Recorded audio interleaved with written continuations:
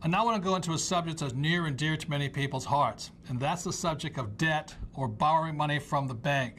I hear many people say, cut up your credit cards and get out of debt. And I would say for probably 90% of the population, that's very good advice, simply because most people, since we're not taught much about money or accounting or investing at school, that's good advice. But if you're going to become rich, you must know the difference between good debt and bad debt, or how to use your banker's money or other people's money to become rich. So a successful, financially successful person knows how to use debt to get rich, where most people use debt to get poor. When you look down at a financial statement, it's very simple to see here.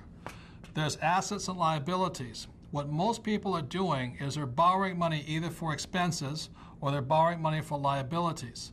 That's bad debt. If you want to become rich, you need to borrow money to buy assets. Assets are, you can, so in other words, you're borrowing money or going into debt to get rich.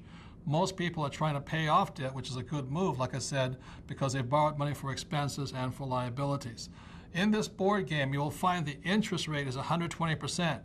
Now, most people say, well, that's too high, or that's usury, and it is.